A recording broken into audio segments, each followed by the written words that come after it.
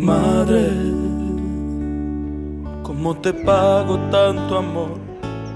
El Día de la Madre es una fecha donde el comercio crece bastante en el municipio y aunque muchas madres piden más regalos espirituales como que los hijos se porten bien o salgan adelante, muchos hijos optan por darles regalos materiales. Por estos días vivimos la celebración de las madres de distintas maneras, incluso con expectativas donde lo comercial en ocasiones es prioridad por el detalle material y otras invitaciones más. Pero, ¿cuál debería ser el verdadero origen de esta festividad que nada tiene que ver con estos intereses? En el momento preguntan mucho por las anchetas, también hay personas que les gusta mucho regalar lo que es ropa, blusas, chores también han preguntado, porque hay mamás muy jóvenes. Las mamás se organizan como antes del Día de la Madre, entonces que la tinturita, que la cremita y para regalos como billeteras, bisutería, bolsos, todas esas cositas. El origen de esta fecha se remonta a la antigua Grecia, donde honraban a Gea,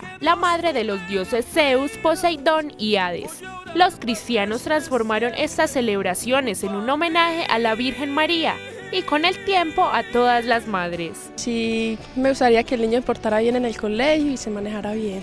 O el mejor regalo para las madres sería que los hijos se porten bien, que no le den tanta lidia a las mamás, las hijas salgan adelante, los hijos también. Para el Día de la Madre yo solo pido mucha vida para disfrutar como con ellas y ese día estar pues como con ellas, compartir con ellas y es un día muy especial como para mostrar ese amor de mamá que tengo hacia ellas.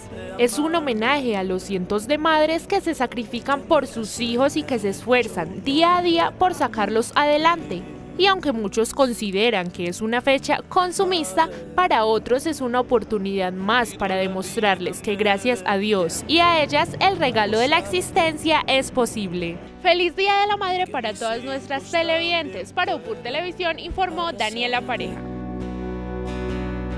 Y disfrutar del gran amor que vive en ti. Madre, gracias por y continuar con la rutina de amar de orar